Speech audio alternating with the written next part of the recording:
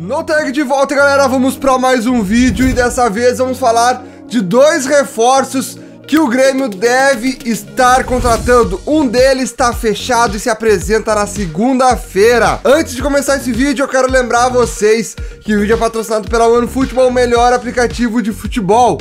Lembrando que tem um QR Code aqui na tela, é só apontar a câmera do teu celular e baixar ele ou então clicar no link na descrição. E por que baixar o OneFootball? Cara, o OneFootball te dá as melhores e maiores notícias do futebol na palma da tua mão. Além disso, você consegue ver as tabelas de qualquer campeonato de futebol do mundo. E mais, agora está começando a Bundesliga, a liga alemã de futebol, e vocês vão conseguir assistir, isso mesmo, assistir os jogos ao vivo.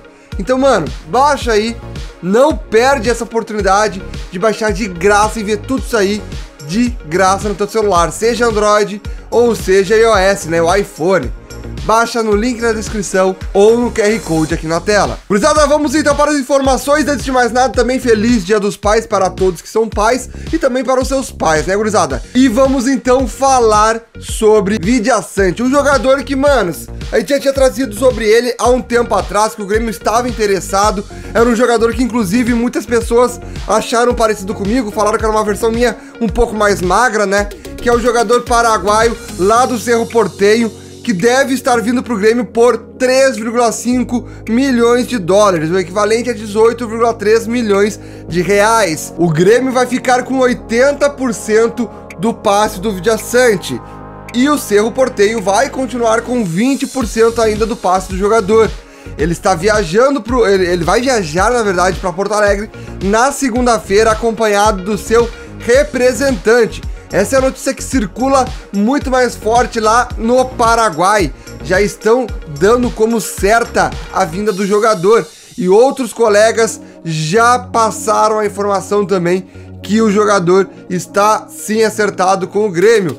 Segunda-feira, Matheus Vidiaçante, um volante de 24 anos, que é muito importante lá no Cerro, é, era capitão da equipe, jogou com o Diego Turim então o Diego Turim também foi muito importante nessa negociação, porque ele conversou com o jogador, que, cara, deu toda, do, do, do, deu toda o entender ali para ele que, porra, pode vir pro Grêmio, vem aqui que o Grêmio é bom, é, é um time magnífico, vamos trabalhar juntos. Uh, tipo, eles já são amigos, então foi muito importante na negociação para vinda desse volante. Então o primeiro jogador dos, de, quer dizer, o segundo, na verdade, né? O primeiro foi o Borja, que foi o atacante. Agora vai ser o volante, que, que o Romildo tinha prometido. E, cara, tem mais dois. Tem mais dois. Um ponta, que a gente, ainda a gente não sabe quem deve vir. Tem a informação lá do Keno, que o Grêmio tava tentando. Tá tentando ainda, mas o Galo não quer liberar. Porém, tem mais um jogador que gente trouxe ontem, que é o meia armador, o Campas, Hamilton Campas. Este jogador lá na Colômbia também estão noticiando que deve estar vindo para o Grêmio. Não tem notícia de que ele está fechado, mas que ele deve vir para o Grêmio. Por quê? Ó, olha uma das informações que a gente está buscando, tá, gurizada? O Campas tava to deu toda aquela, aquela história ontem, né? De que o Grêmio fez proposta, de que ele tinha alguns empecilhos lá com a família do jogador que tem uma, uma, uma porcentagem né, do passe dele, que queriam um valor a, a mais ali para liberar o jogador, né, para o jogador vir pro Grêmio. E depois de toda essa história aí, que, pô, faltava uma graninha a mais, era, era, era pouca coisa que faltava para liberar o jogador. Então depois de todo esse, esse imbróglio, hoje, gurizada, o, o Hamilton Campaz, de 21 anos, meio armador lá do Tolima, ele se negou a viajar com o Tolima para enfrentar a equipe do Junior Barranquilla. Ele se negou. Então tem muito a entender aí nessa história de que ele poderia sim já estar fechado com o Grêmio. Ou já ter uma conversa bem adiantada, que deve, deve vir de repente viajar para Porto Alegre. Então tem uma tem uma, uma séria um sério intuito assim de que poderia ser Hamilton Campas mais um jogador contratado. Este não temos informação de que ele esteja fechado, tá?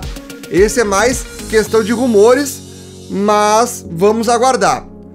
Hamilton Campas e falta mais um ponta. Um ponta que o Grêmio deve contratar e um ponta que vai ser muito importante aqui para o Grêmio, porque a gente sabe o quanto o Grêmio está necessitado nesta posição.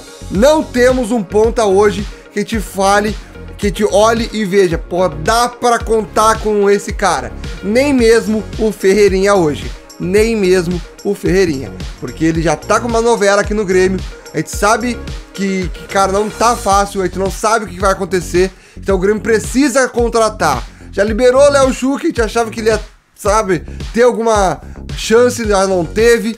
A gente tem o Jonathan Robert que não sabe se vai ganhar mais chance, tem gente que duvida do futebol dele. Alisson e Léo Pereira eu nem falo, que eu, mano, nossa senhora, não quero ver esses caras no Grêmio, não quero. Mas enfim, a gente precisa de jogador de qualidade nas pontas. E a gente tem o Douglas Costa, que tá voltando. A gente precisa na esquerda ali. E pode ser o Keno, mas o, o Galo não tá querendo liberar. Vamos ver quem é que o Grêmio vai conseguir contratar para essa posição. Gurizada, deixa o likezão no vídeo, se inscreve no canal para vocês não perderem as próximas notícias, mais atualizações.